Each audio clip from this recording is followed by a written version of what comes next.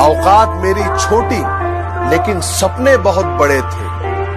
नज़र घुमा के देखा तो मेरे अपने ही दुश्मन बनकर खड़े थे।